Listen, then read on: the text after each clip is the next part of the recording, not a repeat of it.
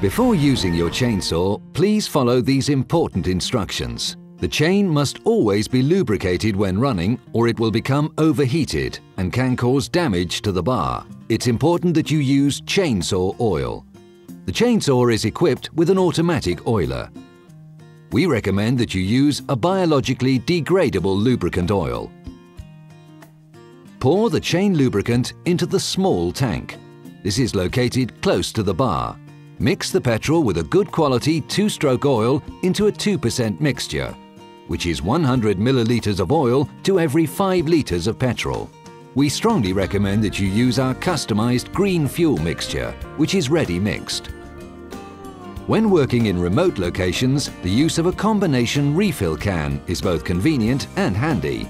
Just fill the chain oil in the small container and fill the larger one with green fuel mixture. Our fuel can has an automatic shut-off nozzle, which prevents drips or spillage during refueling. Fuel can only be poured into the tank as long as you are applying pressure on the flexible nozzle.